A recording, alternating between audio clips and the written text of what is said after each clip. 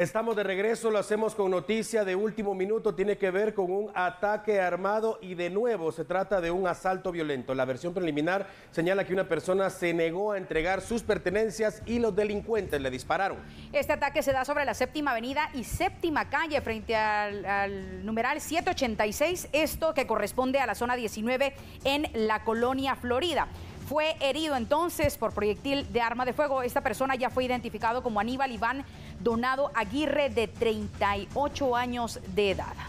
Los bomberos llegaron de inmediato para atender a esta persona y en estado delicado la llevaron ya a un hospital. Hay que tener en cuenta, amigos televidentes, en los últimos días se ha elevado el número de asaltos, tomando en cuenta la época en que nos encontramos y en muchas ocasiones, de hecho, hemos logrado documentar varios casos acá en la televisión guatemalteca que las personas terminan heridas de bala justamente por negarse a entregar sus pertenencias. En esta oportunidad, de nuevo, se habla de la posibilidad de que la persona se entregó, se negó, mejor dicho, a entregar su celular y los delincuentes le dispararon. Afortunadamente iba herido únicamente en las piernas, aunque por supuesto hay que hablar de la gravedad que eso representa independientemente de eh, qué parte del cuerpo. Hablamos de heridas de bala y esto puede cambiar de manera radical la vida de las personas. La buena noticia es que está con vida la persona. Afortunadamente los bomberos llegaron en pocos minutos. La Policía Nacional Civil, como usted lo puede observar en este momento en las imágenes, ya tiene acordonada la escena donde quedó la sangre de la víctima derramada